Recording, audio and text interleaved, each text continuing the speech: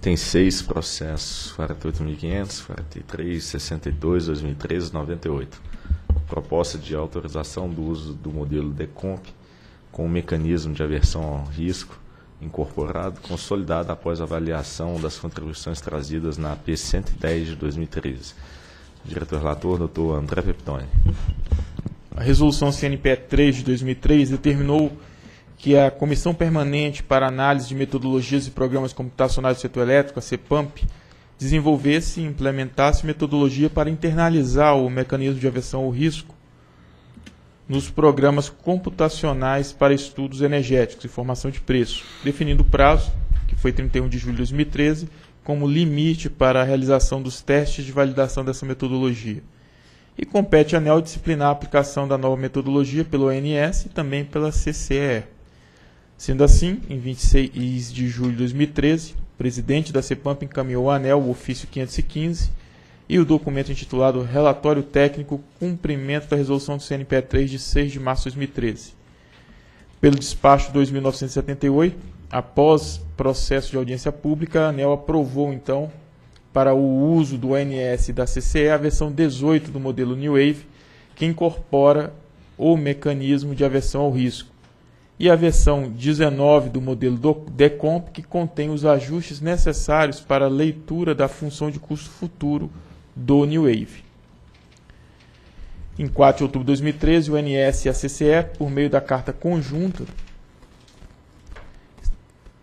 encaminharam o relatório da Força Tarefa DECOMP com os resultados dos testes de validação da versão 19.2 do DECOMP com o mecanismo de aversão risco implantado. Em 4 de outubro, o Ministério de Minas e Energia, pelo ofício 211, apresentou o relatório técnico da CEPAMP, cujo título é Desenvolvimento, Implantação e Teste de Validação da Metodologia para Internalização do Mecanismo de Aversão ao Risco.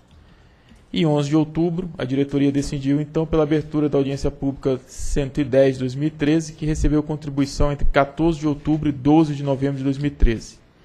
Pela nota técnica 97, de 19 de novembro, a SRG examinou o tema e recomendou a aprovação do uso pelo ONS e pela CCE, a partir do Programa Mensal de Operação de dezembro de 2013, da versão 19.2 do Programa Computacional DECOMP, com a adoção do mecanismo da CEVAR habilitado ao relatório.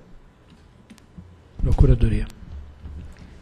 Trata de proposta de autorização de utilização do programa DECOMP pelo ONS e pela CCE, matéria de competência da ANEL, do artigo 3 14, combinado com 19 da Lei 9427, foi precedido da audiência pública por força do artigo 4 parágrafo 3 da Lei 9427. Matéria examinada sob aspectos de legalidade pela Procuradoria está em condição de ser deliberado pela diretoria. Então, na audiência pública 110, os agentes fizeram contribuições, eu cito aqui a a Bracel, a Abrage, a Pine, a CE e a Tractebel. A Bracel solicitou que a ANEL evite todos os esforços para homologar a nova versão do modelo Decomp com a metodologia da CEVA incorporada, com os parâmetros alfa de 50% e lambda de 25%, a fim de que possa ser utilizada no PMO de dezembro de 2013, cuja reunião de elaboração está marcada para os dias 28 e 29 de novembro. Então, a deliberação dessa matéria hoje permite o atendimento desse pleito. Já a Abrage, a CE e a Tractebel entendem que os aperfeiçoamentos do modelo devem ter eficácia apenas no ano seguinte sua validação, ou seja, em 2014, e argumentam que, nessa medida, evita-se o risco regulatório que é, que é precificado pelos agentes. A inclusão do mecanismo de aversão ao risco nos modelos de planejamento e formação de preços, todavia, está sendo realizada em duas etapas. A primeira etapa concluiu-se com a publicação do despacho 2978-2012, que autorizou o NS e a CEA a utilizar no modelo New Wave, com a metodologia da CEVAR, a partir do PMO de setembro de 2013. O despacho, na realidade, é de 2013. Então, a primeira, o primeiro despacho foi a introdução do modelo no Wave. E agora, o segundo passo seria também a introdução no Decomp. Então, naquela ocasião, o mesmo despacho autorizou o uso do modelo Decomp ainda sem a incorporação do modelo de aversão ao risco, do mecanismo de aversão ao risco, apenas com as adequações necessárias para a leitura da função do custo futuro do New, do New Wave. A inclusão da metodologia da CEVAR no modelo DECOMP concluirá então a segunda etapa da incorporação do mecanismo de aversão ao risco, não, não devendo ser adiada, uma vez que possibilita a compatibilização das decisões operativas de curto prazo com as decisões de médio e longo prazo disponibilizadas pelo modelo New Wave. Também foram encaminhadas contribuições objetivando o aperfeiçoamento do processo de validação dos modelos, e nesse sentido a APIN asseverou que, apesar do maior prazo para a validação do DECOMP, quando comparada à validação do Wave, não houve participação ativa dos agentes do setor elétrico desde o início desse processo, especificamente, especialmente para a escolha dos parâmetros do modelo.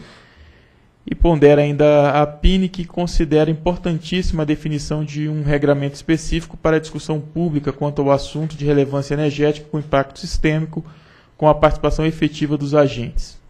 Por sua vez, a Bracel, corroborada pela Abrage APIN CE, solicitou que todos os processos de redefinição dos valores de alfa e lambda tanto do modelo Decomp quanto do New Wave, sejam precedidos de audiência pública. Essas solicitações, senhores diretores, já haviam sido feitas no âmbito da AP 86-2013, que foi de relatoria do Edivaldo e que trata da incorporação do mecanismo de aversão risco no New Wave. E que é, e essa apelo acolheu então os subsídios e informações para homologação dos programas computacionais de planejamento de formação de preços, como internalização do mecanismo de aversão ao risco de trata o artigo 1 da resolução CNPE 3 e foram discutidos na nota técnica 59/2013. Ressalta-se que todos os atos que afetam direitos dos agentes regulados são obrigatoriamente precedidos de audiência pública. No entanto, conforme assinalado na nota técnica 59, que motivou o encerramento da audiência pública 86, esse pleito foi, foi abordado e foi esclarecido na ocasião que não seria recepcionado o pleito, pois não compete à ANEL a definição da metodologia de aversão ao risco e dos parâmetros de segurança. Nesse sentido, não tem por que a ANEL fazer audiência pública para a definição do alfa e do lambda.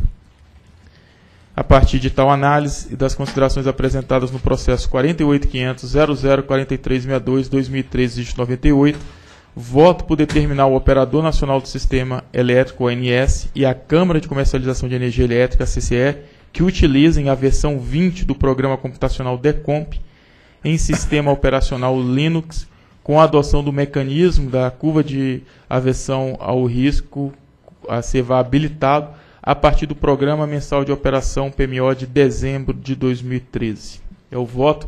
Eu fiquei aqui só com a dúvida, perguntar para o pessoal da SRG, porque nós estamos sempre falando que é, o, esse, é a incorporação do MA, da, do mecanismo no DECOMP é o 19.2. E agora nós estamos chamando ele de 20, é isso mesmo? Então, ok. Então, na realidade, o 19.2, que é o modelo DECOMP incorporando a, o mecanismo de aversão risco, agora aprovado, chama-se versão número 20. Foi promovido. Foi promovido, doutor Edivaldo. Em discussão.